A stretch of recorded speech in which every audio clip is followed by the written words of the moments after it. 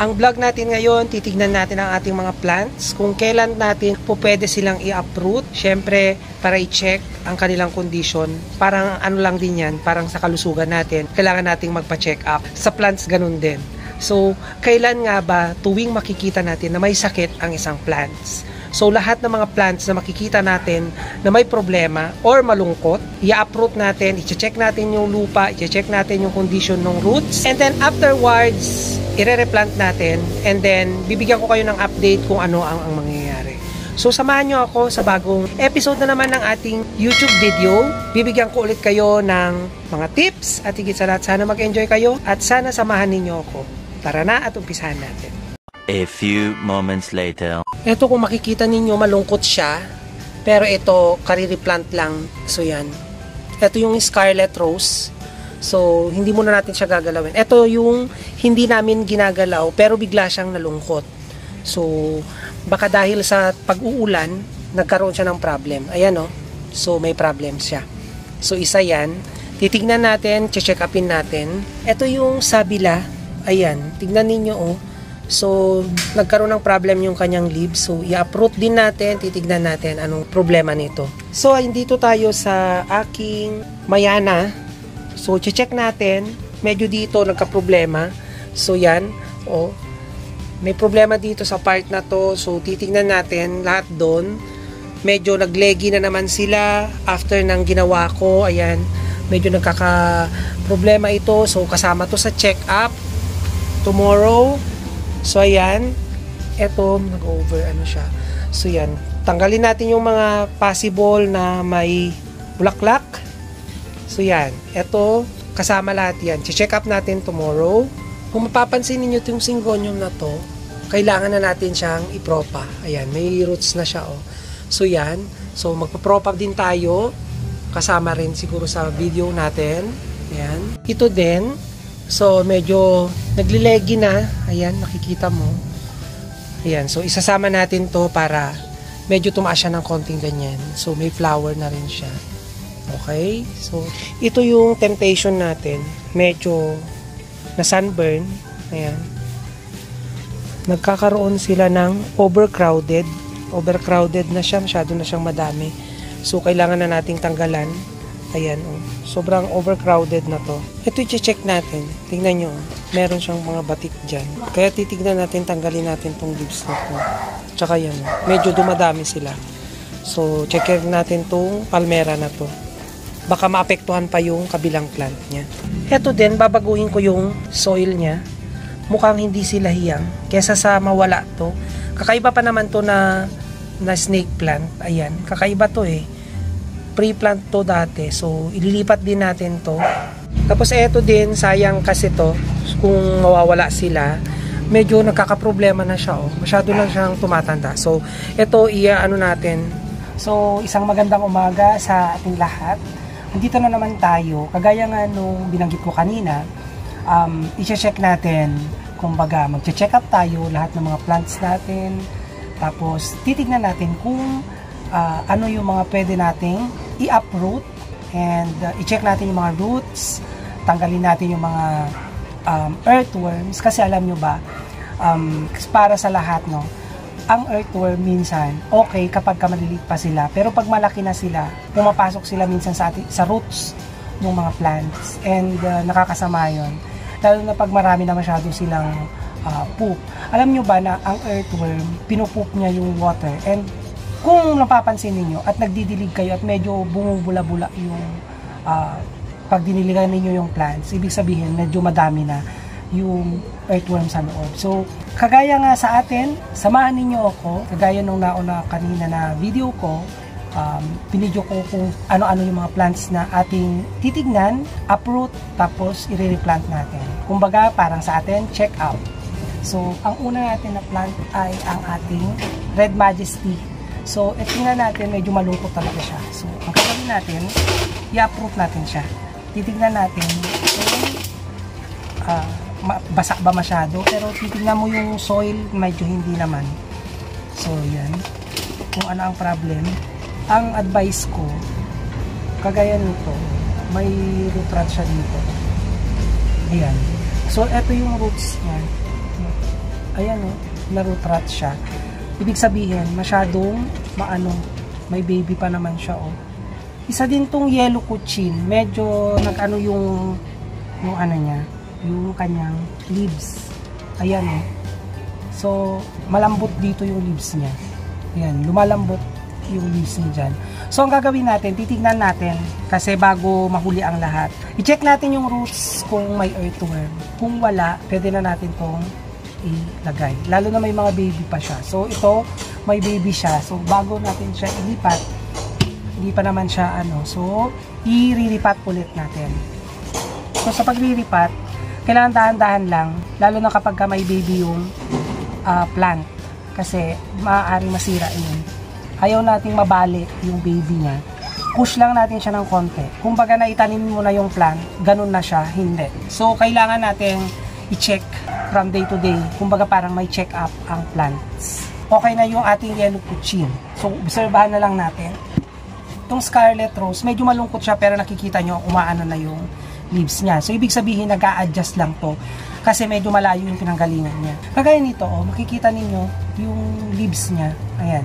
So, may something. Totoo nga, buti na lang may yung pagkakarotrat niya, merong natira dito. So, isasalba pa natin to. Tapos, etong natira, lilinis ko, no? Linisin natin.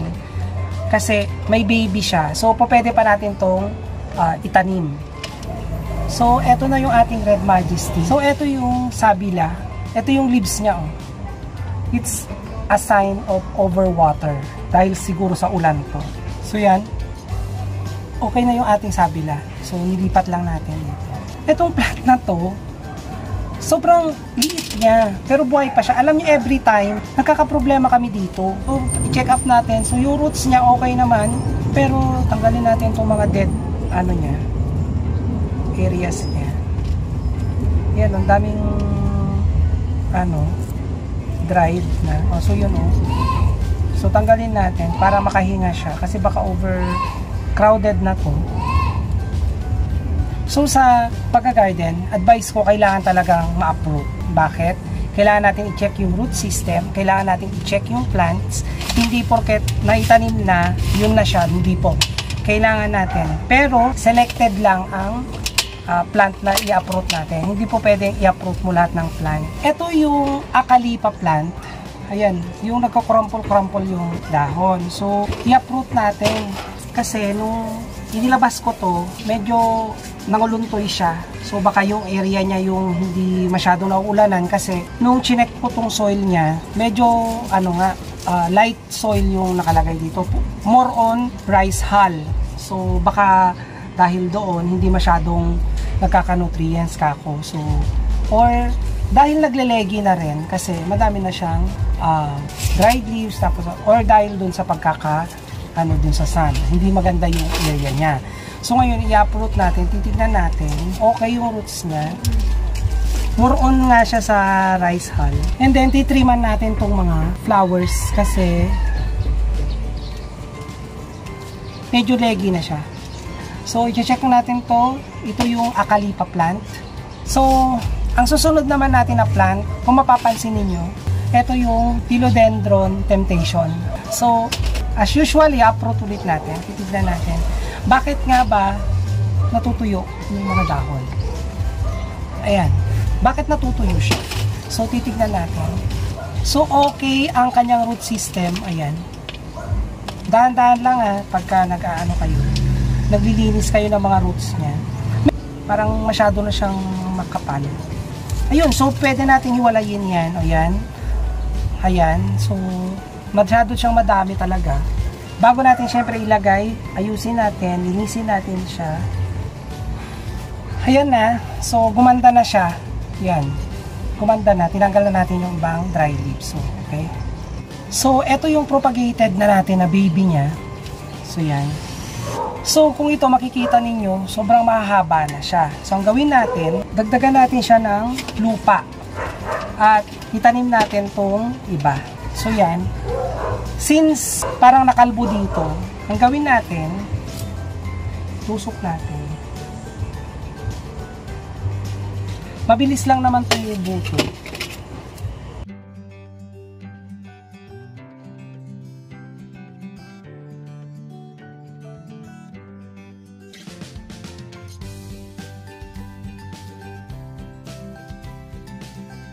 So yan, gumanda na siya dumami na siya.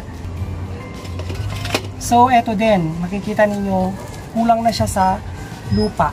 So dagdagan natin, hindi natin yung mga dry leaves kasi hindi naman na ano yan. Ang ganda ng bulaklak niya oh. Lalagay natin.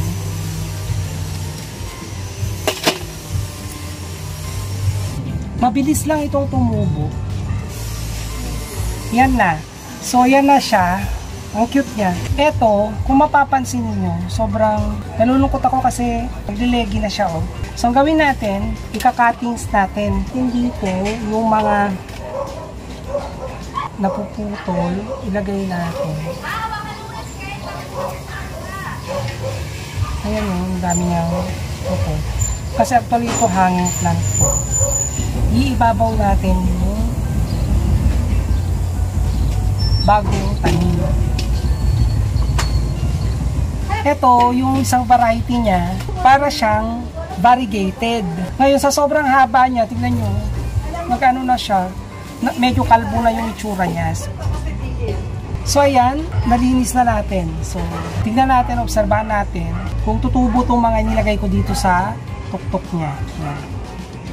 So, ito din, ayusin natin kasi medyo ano na siya, leggy na siya. So, yan. So, yan, mas gumanda na siya kaysa kanina. Ito yung dalawang Moises of the Cradle. Magkaiba sila ng variegation. Yan. So, since rare itong mga variety na to, paghiwa-hiwalayin lang natin yung baby niya. Tatanim pa rin natin dito sa, ano, sa isang pot na to, anuin lang natin yung roots. So, yan, medyo tinanim natin sa gilid niya. Mas gumanda na siya. Yan. So, gumanda na siya. Dumami na. Mas gumanda na siya. Hiniwa-hiwalay ko lang and then tinanim lang din natin sa isang pot. So, ganyan ang pag-check up sa ating mga plants. So, sa ngayon, nabigyan ko na naman kayo ng ibang methods at pamamaraan tungkol sa ating pag-garden. Sana uh, may natutunan kayo at sana ay may naibahagi ulit ako na kahit papano munting ideas, uh, mga paraan kung paano natin i-check up yung ating mga plants pagkatapos nating uh, may makita na malungkot yung plant, may problema yung plant, or sobrang leggy na yung plants. Kita-kita po tayo ulit at sana may naibahagi ako na munting kaalaman sa inyong lahat. Antabayanan nyo po ulit ang aking susunod na video. Uh, pag-uusapan pa rin natin about plants or about inspirations kung meron tayong pagkakataon. At higit sa lahat, ako po ulit si Piting TV, ang isang simpleng buhay ko. Ang mga simpleng videos ko ang magbibigay sa inyo ng pagpapahalaga, ng pagmamahal at inspirasyon itong simpleng buhay ko. Kita-kita po tayo ulit sa aking susunod na video upload. Sana wag po kayong magsasawa sa panonood sa aking YouTube channel sa aking mga past videos at higit sa lahat maraming maraming salamat sa lahat ng nahihikayat ko na mag-subscribe at sumuporta sa aking YouTube channel sa lahat ng mga nanonood at hindi nag skip ng ads. Maraming maraming salamat po at hanggang sa muli kita-kita tayo ulit sa aking susunod na video upload.